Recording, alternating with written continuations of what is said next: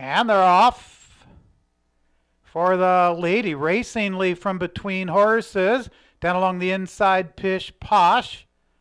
Then moving up from the outside, Rajpur Road and Lady Charlie. Well bunched into the first turn. He racingly puts ahead in front. Down along the inside, that's Pish Posh with Lemon Crunch, Rajpur Road. Now Rajpur Road gains up on the outside. Rajpur Road puts ahead in front of you, racingly in second, Lady Charlie third. Pish Posh still right there in fourth. Grace's Miracle runs fifth. Then it's Gray Mist, followed by Silver Sierra. Amazing Saint Trails 25 flat for the quarter. On the outside, that's Rajpur Road with Pish Posh. Those two now right together. Gaining from the outside, Grace's Miracle and Silver Sierra, followed on the inside by Lemon Crunch.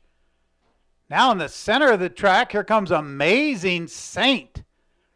Well bunched as they move forward the stretch. Pish Posh with the head in front. Here's Amazing Saint in the center of the track, gaining ground between those two. Grace's Miracle. Then it's a length back to Silver Sierra. Pish Posh has a short lead. Still between horses, Grace's Miracle. On the outside, Amazing Saint. Center of the track, Lady Charlie. It's Amazing Saint and Pish Posh. Those two to the wire. Amazing Saint by a head over Pish Posh. Then a photo for third between Lady Charlie and Grace's Miracle.